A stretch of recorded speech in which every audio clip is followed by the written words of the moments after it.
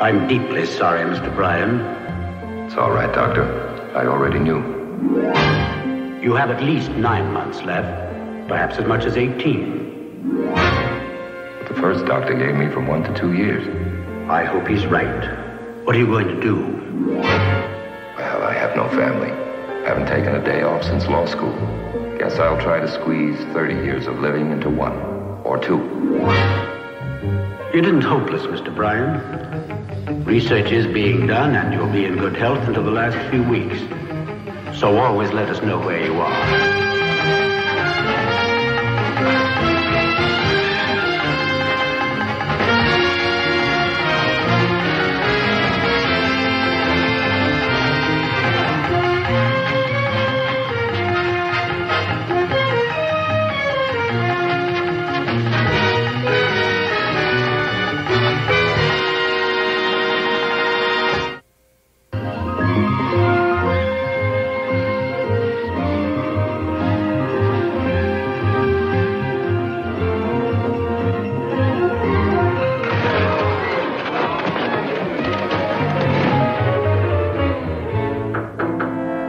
Come.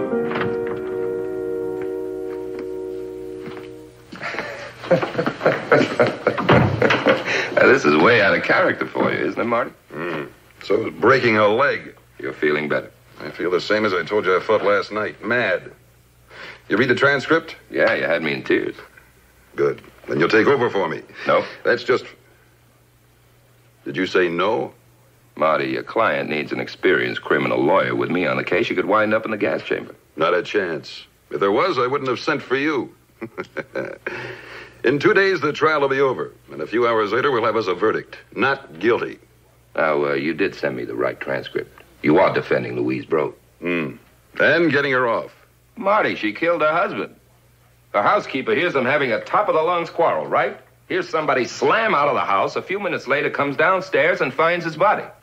Now, stop me if I get any of this wrong. Mrs. Brode is found in a bar nearby, is arrested, confesses she killed her husband, is taken down to headquarters, where they advise her of her rights. But she insists on making a second confession, signs it, and the confession is admitted into. You did read every word. And since you hate to lose, you decided to break your leg and send me to the slaughter. Stop. You finally got it wrong. I sent for you to keep one of my colleagues, uh, spell that competitors, from stepping in and taking my bows. There's a folder in that drawer over there. Bring it to me. The one marked Dr. Stanley Brickow. Dr. Stanley Brickow, take the stand.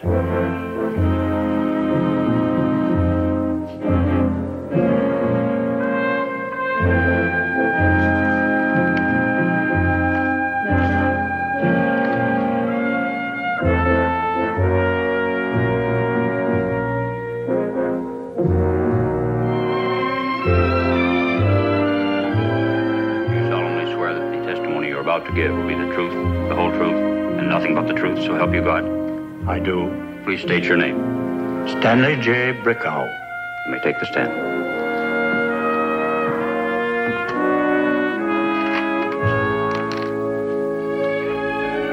Dr. Brickhow, you're formerly chairman of the Department of Clinical Psychology at the university in this city. I was. You're now in private practice. I am. You specialize in a technique known as narcosynthesis. Yes. And what drug is generally used in narcosynthesis? Uh, thiopental sodium. Among members of your profession, is thiopental sodium sometimes or often referred to as truth serum? Objection.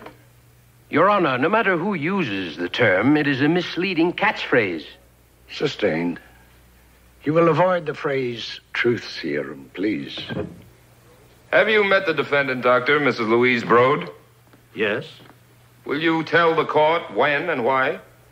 On the 17th of last month, Martin Shawe, Mrs. Brode's attorney at the time, made an appointment for me to see her.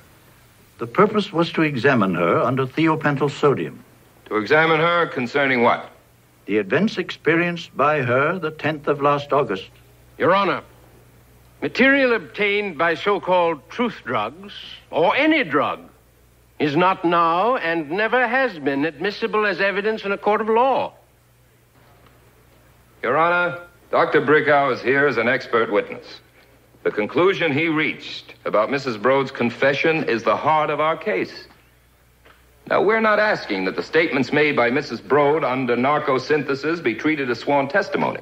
They are, however, the data on which an expert witness based his conclusions and are therefore admissible.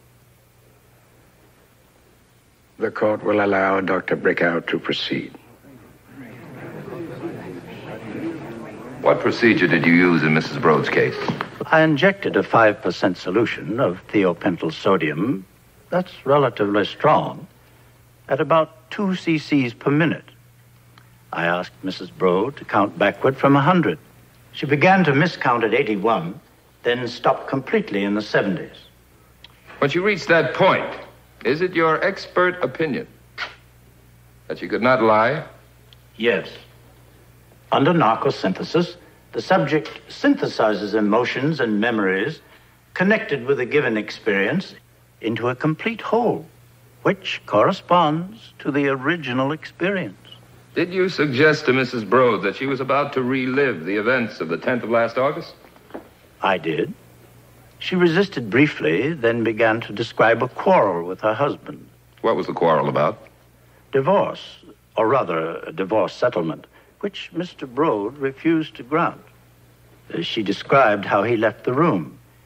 He shoved her out of his way and went to his own office den. Mrs. Brode put on a coat and left the house to take a walk. She said that. She left the house to take a walk. Yes. On 14th Street, she saw a bar and, on impulse, went in. On impulse. Those were her words? Yes. She remembered precisely what she ordered old fashions, and precisely how many. Four. Then two police officers entered and took her into custody. The rest is a matter of record. Under thiopental sodium, did she describe those events? Yes. And did her description correspond in detail to the police report you read this morning? In every detail. Did you ask her why? She confessed to a murder she did not commit. No. I'm afraid she wouldn't have known. The problem was to learn why. For example, I asked her if she had felt sorry her husband was dead. She said no, she had felt happy.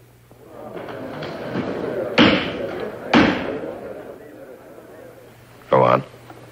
I asked her if she had ever wanted to kill her husband. She said yes. She'd wished him dead many times, dreamed many times that she had actually killed him. Did you ask her if, in fact, she had killed her husband? Yes. How did she answer? That she had not, but had felt a sense of great exhilaration when she was shown his dead body. Well, isn't that inconsistent with what followed? On the contrary, the exhilaration, the sense of satisfaction, the knowledge that she had wished him dead triggered an enormous guilt reaction, which made her confession a predictable phenomenon. Now, Doctor, is it your opinion that Mrs. Brode's confession is incompatible with the clinical evidence of what actually happened? That is my unqualified opinion. Thank you, Doctor. Mr. Uh, Brickow, isn't it a matter of fact that some people can lie under thiopental sodium? That has never been conclusively demonstrated to me. Your Honor, prosecution requests that further cross examination of this witness be deferred in order to give the prosecution time to study the witness's testimony with a possible view to calling expert witnesses into court.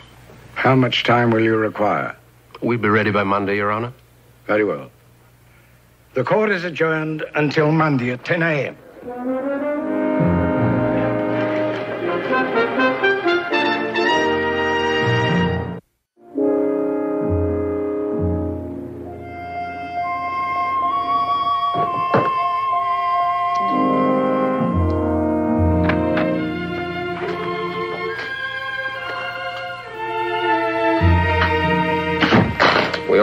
minutes. I may want to put you on the stand. But but Marty said I wouldn't have to go on the stand. Well, I just ran into Coleman. He gave me a grin full of confidence and told me what they have waiting for us. Some of the biggest names in psychiatry. I may have to put you on the stand.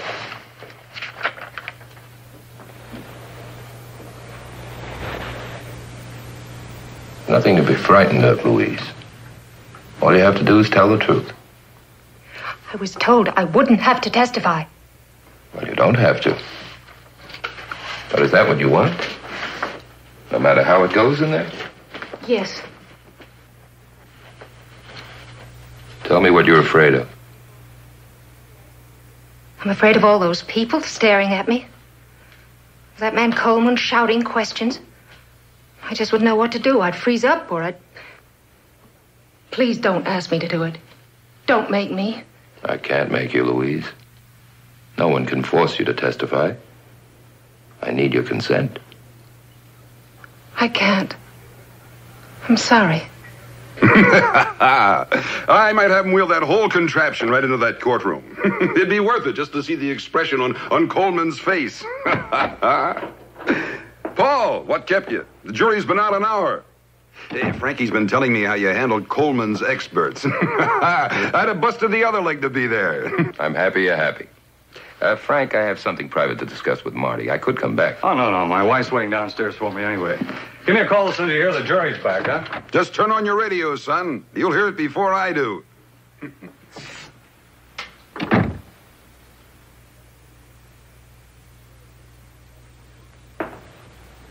What's the gloomy look for?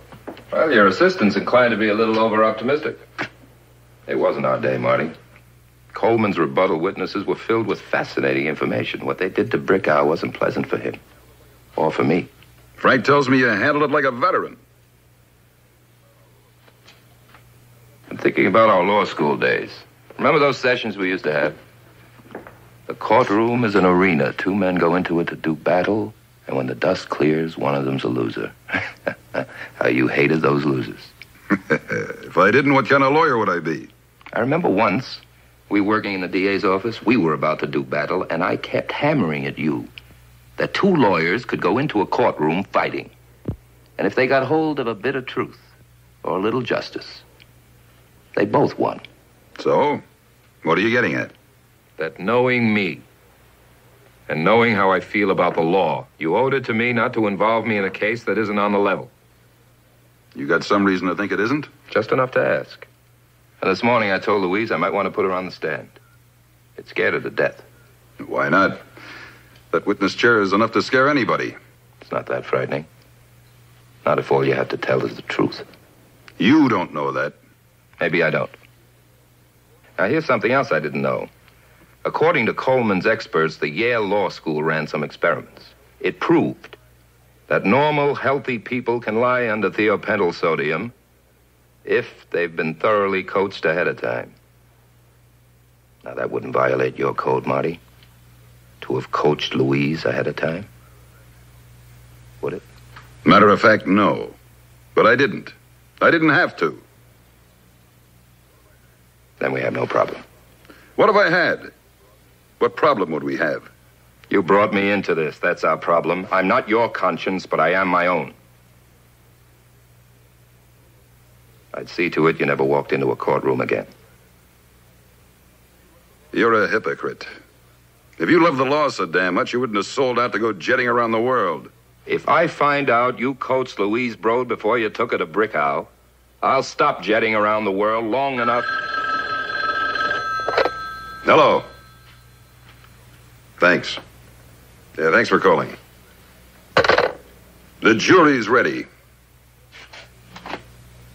Before we hear the verdict, I want it clearly understood there will be no pictures taken in this courtroom.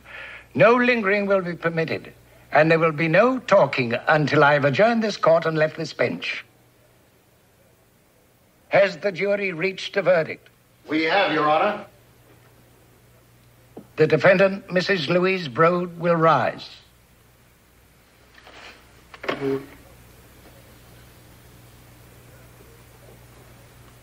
The clerk will read the verdict. We, the jury, find the defendant, Louise Brode, not guilty.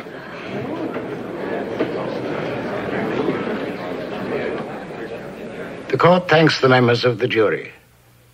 The defendant is released from custody. This honorable court stands adjourned. Congratulations, Louise. That's all. I can go out of that door. Not go back to that cell. That's right. Oh, thank you, Paul. Thank you.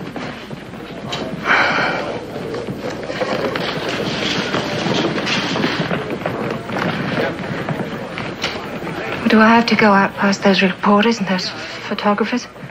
Oh, I think Judge Kleiner will let us sneak out through his chambers. You better call Marty.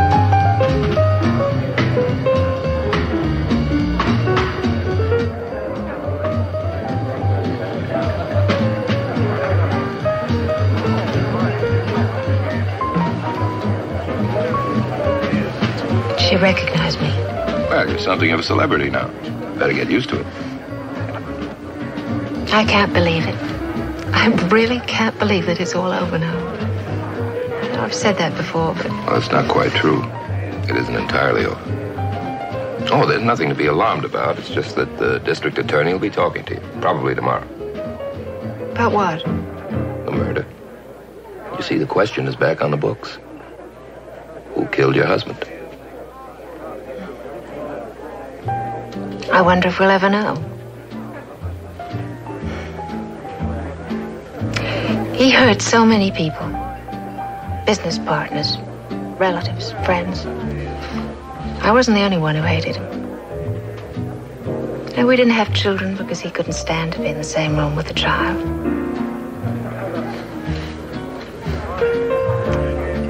When I was in that cell waiting for the trial to begin, I'm wondering if I'd be dead or executed at 34. It suddenly hit me that I'd be married to Harry Brode half my life. Did you know that? I married him when I was 17. I know. Why did you marry him? For all the wrong reasons.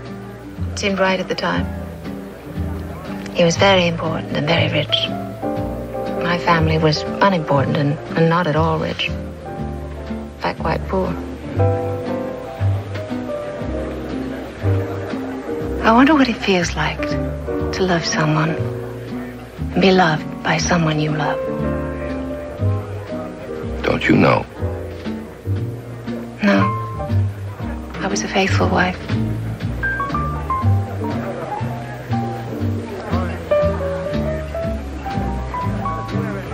I'd like to go now.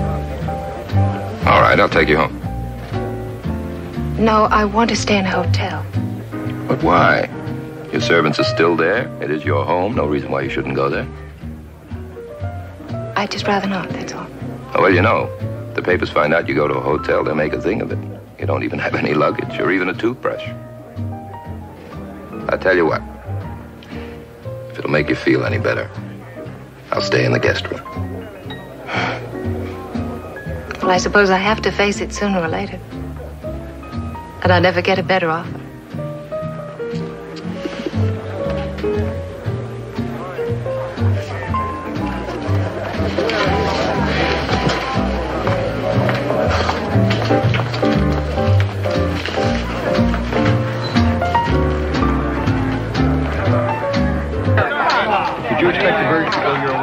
What are your plans now, Mrs. Brown? I feel to be a free woman. What do you think, No comment, boys. No comment Where's today. Mr. Brown? Won't you give us one statement, please? Anything. Now, boys, Mrs. Brode has nothing to say. She'll make a statement at some other time. Oh, we got to have it. Come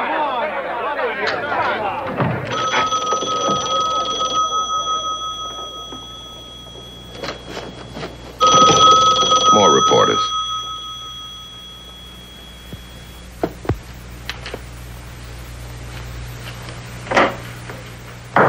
I think we need some supportive therapy. Nothing for me, thanks. I've had enough for tonight. For several nights. No, you can't let me drink alone. How long will that go on? Not long. Day or two at the most. Except for the feature writers. But they won't sit on your doorstep.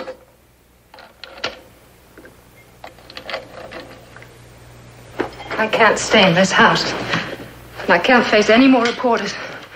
Not tomorrow and not ever. Paul, drive me somewhere. Just check me into a hotel and leave me there. Give the reporters a chance to get away first.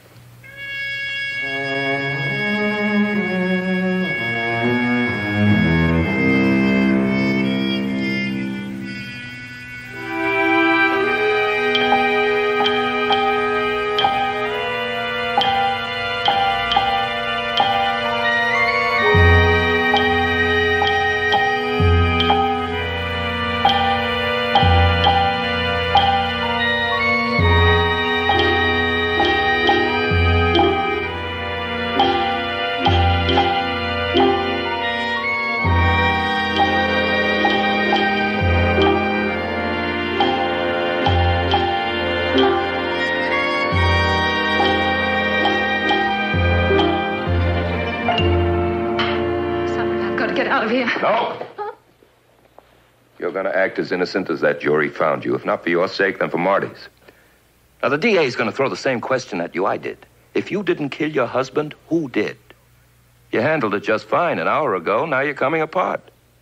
You owe it to Marty not to let that happen.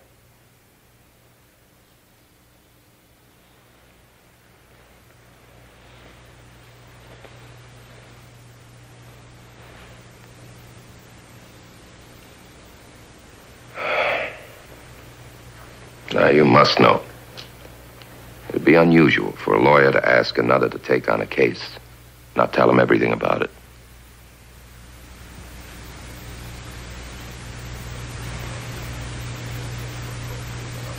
They uh, won't put a call through at the hospital, not at this time of night. In the morning, we can both go over and see him. You can satisfy yourself then.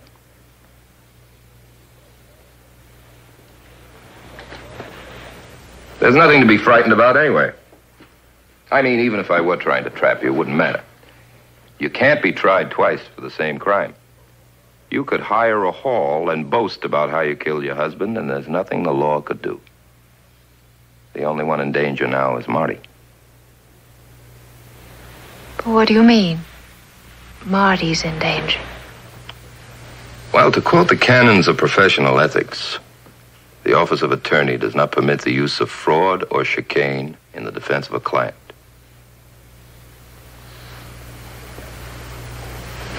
Now, when Marty coached you, drilled you in exactly what to say to Dr. Brickow, that was chicane. Could get him disbarred, even charged with a felony. Why didn't you tell me you knew? Why, Paul? Why didn't you tell me? Dear God, why didn't you tell me?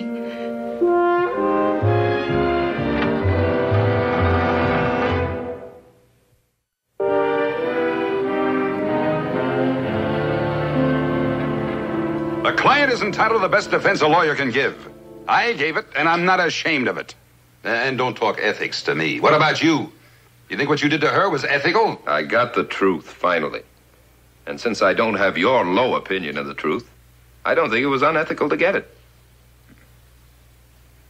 Oh, Marty, you had a chance to level with me.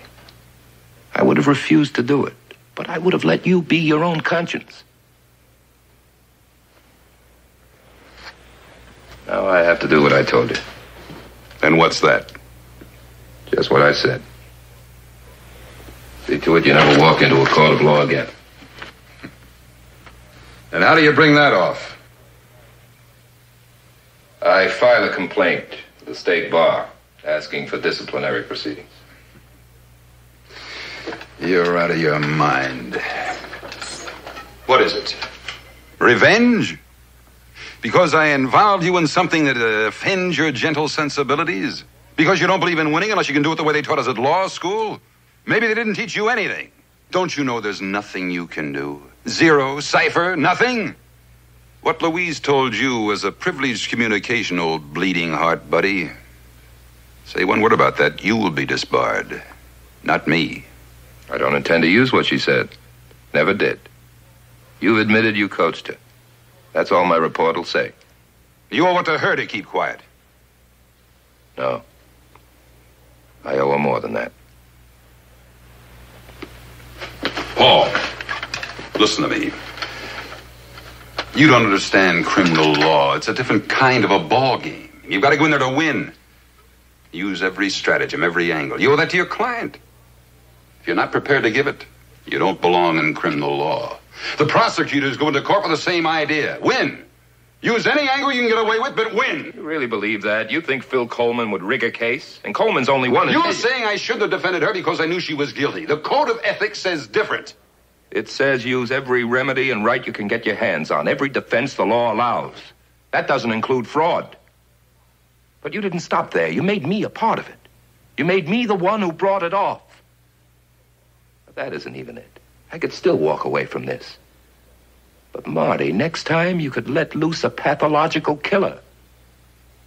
I can't walk away from that. File a charge against me, and you're going to think you're in a cage of wounded tigers. They can call Louise as a witness, but she'll back me up, not you. That hearing will be all there is left for you, friend. A big bag of grief. It's too bad. I'll just have to live with it.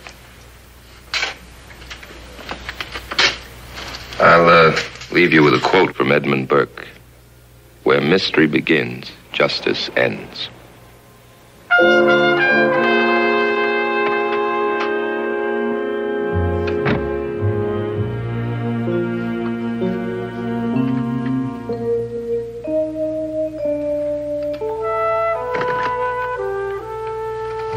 Operator, get me 555 7810.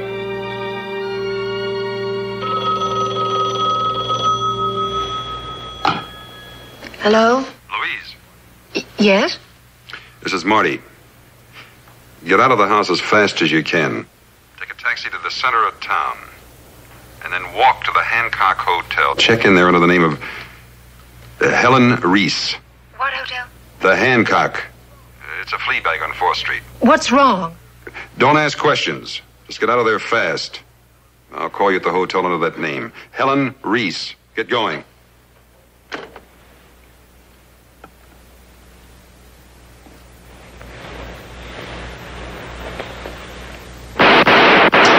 Bringing you the 6 p.m. news. The big story on the local scene today is the sensational aftermath of the Louise Brode trial. Paul Bryan, who replaced attorney Martin Shawe after a skiing accident, today filed a complaint against Shawe with the state bar. The exact nature of the complaint has not been revealed, and Bryan has declined to make any comment.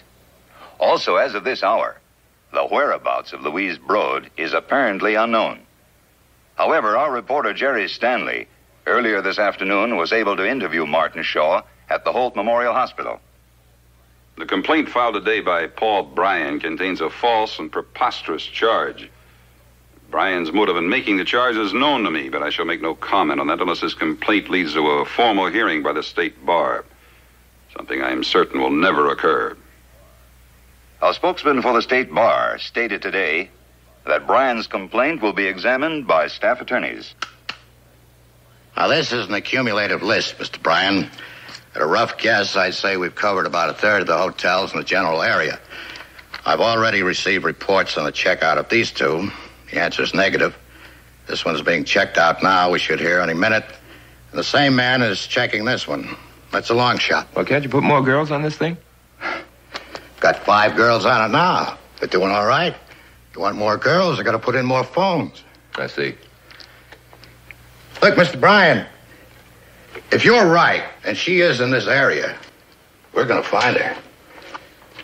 Why don't you go out and get something to eat? Maybe have a drink. No, I'll stick around. I'd like to be near your optimism. That's not optimism. After all, no matter what name she uses, she's got the kind of face that people notice, especially desk clerks. And it's a face that isn't exactly unfamiliar around here. You mind if I ask you a foolish question? Why not? If you're right, then it's probably Martin Shawe who's got her stashed away. Check? Check. Then what good is it going to do you to find her? When do you ask the foolish question? Mr. Hanson, I think we found her. Good.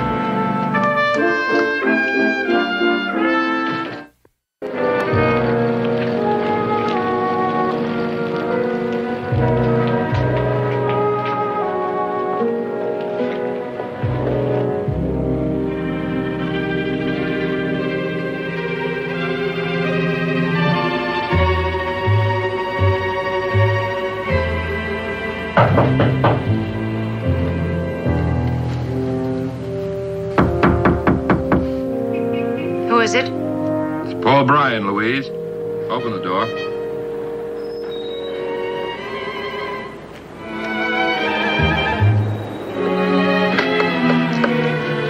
Get me 555 4473. Well, uh, you won't find him at the hospital. He checked out two hours ago. Please connect me with Martin Shawe's room. Oh, I see. Thank you. And you won't find him at home. I checked before I came here. Louise, you'll talk to me or to investigators of the state bar. There's someone with me here. In ten seconds, he'll leave to call them. I have nothing to say to you. But I have something to say to you. I think you'd better hear it.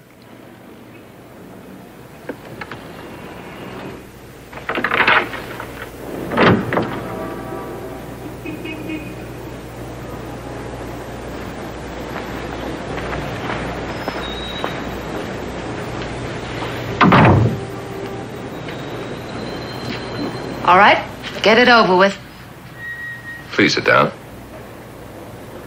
What I have to say to you is important. It May save your life. Look, Marty told me my rights. I've got nothing to worry about from you or from anyone else. You've got plenty to worry about.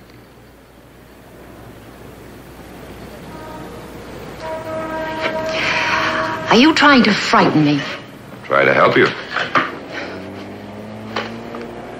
Now, when you were arrested in that bar, why did you confess to killing your husband?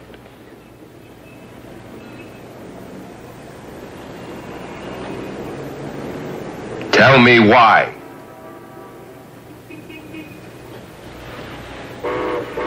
Killed him. And there didn't seem anything else that I could do but admit it. No.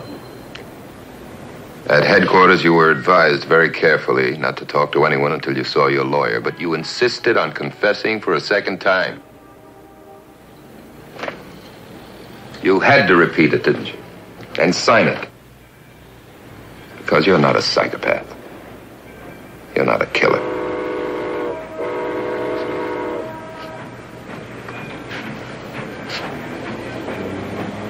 You didn't plan to kill him, did you? No, it wasn't planned.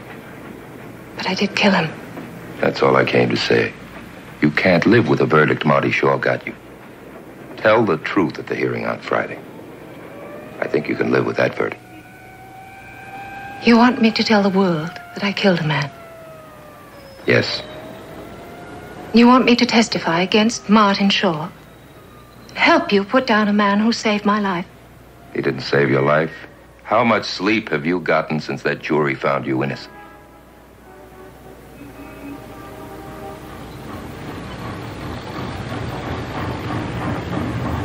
Marty stole from you what you needed most, and he did it for himself to win another case. Yes, an honest defense would have meant a verdict of guilty, murder in the second degree, but you would have been paroled in four or five years.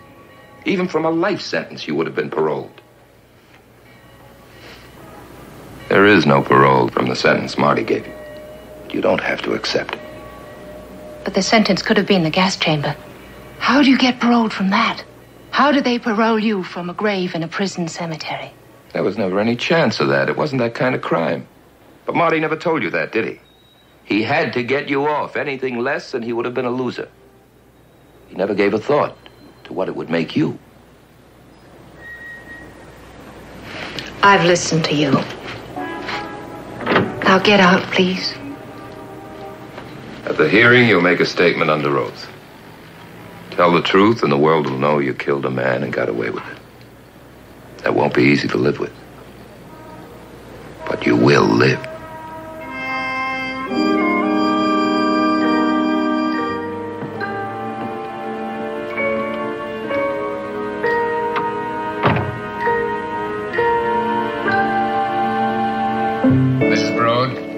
Having taken an oath to tell the truth at this hearing, you should understand that the laws of perjury will apply to your testimony in the same manner as if this were a court of law. I have informed the witness, Mr. Examiner, of her rights and obligations at this hearing. Thank you, Mr. Carter. Now, Mrs. Brode, have you uh, read the uh, complaint as filed by Mr. Bryan? Yes, I have. Now, in reference to that part of the complaint which states that Mr. Shawe admitted to Mr. Bryan that he coached you in order to deceive an expert witness, would you tell this committee, please, whether or not such coaching occurred? No, it did not. Was it Mr. Shawe who suggested that you be questioned under narcosynthesis? Yes. Did he tell you that he thought you might deny a confession under the influence of a drug? No. I had told him that I wasn't sure of what really had happened that night. That I felt that I might not have done it. And he decided to call in Dr. Brickow. Mr. Bryan, do you have any questions for the witness? No, no question.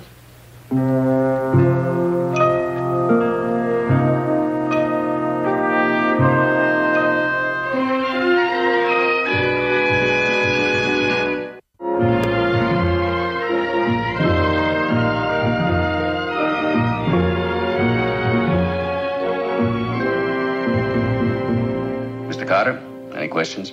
Yes. Mrs. Brode, will you tell the committee members what occurred on the evening the trial ended?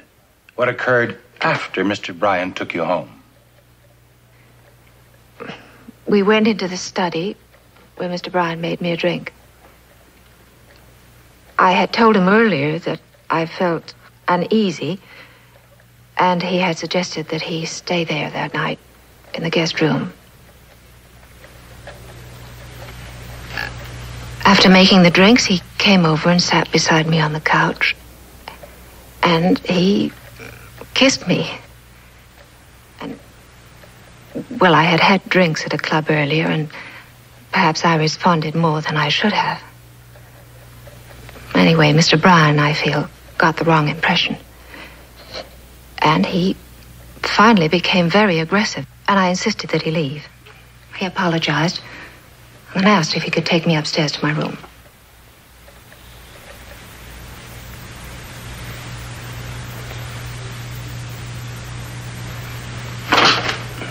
Please continue. He took me up to my bedroom, and there again he. Well, I wouldn't say that he tried to assault me. It was just that he became very aggressive, and I finally had to ask him to get out of my house.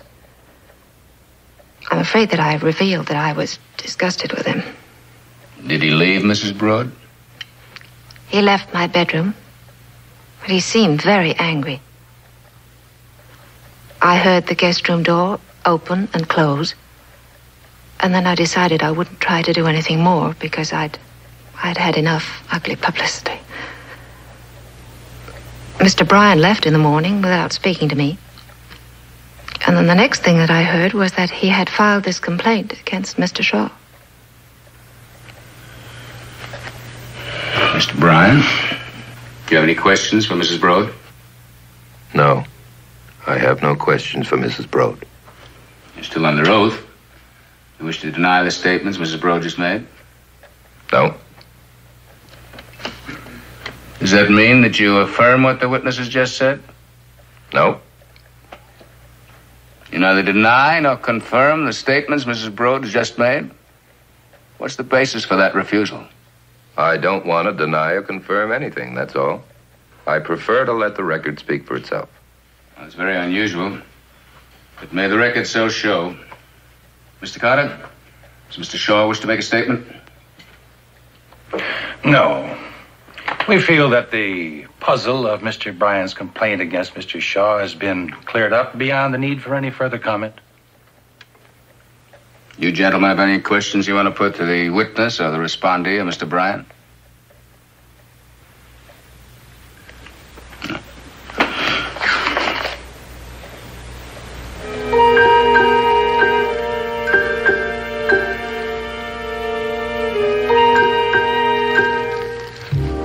Administrative Committee will meet and draw up its recommendations, which will be submitted to the Board of Bar Governors. Transcript of this hearing will. Please.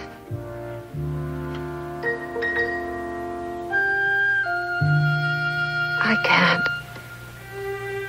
I'm sorry I didn't hear you, Mrs. Brode.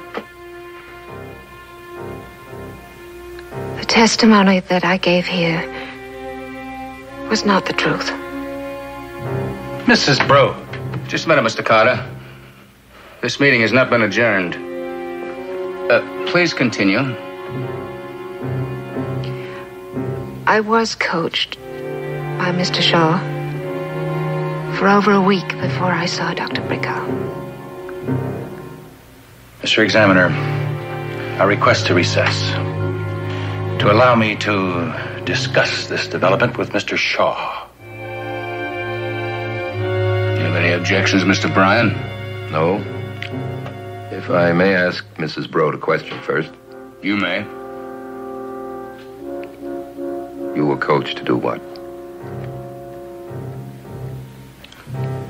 To make Dr. Brickell believe that I hadn't killed my husband. Had you?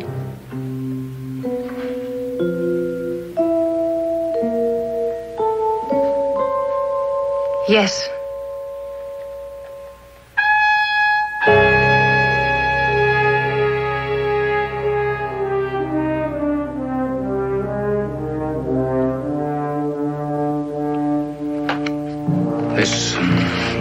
Hearing will recess. Until further notice.